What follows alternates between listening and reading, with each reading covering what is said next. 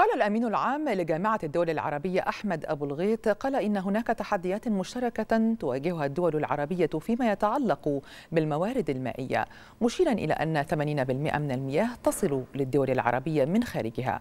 وخلال افتتاح أعمال النسخة الرابعة من مؤتمر بغداد الدولي للمياه والمنعقد في العراق أضاف أبو الغيط أن الأمن المائي لا ينفصل عن الأمن الغذائي مؤكدا أن الوضع المائي لا يزال يشهد ضغطا متزايدا مع تراجع حصة العراق من مياه نهري دجلة والفرات.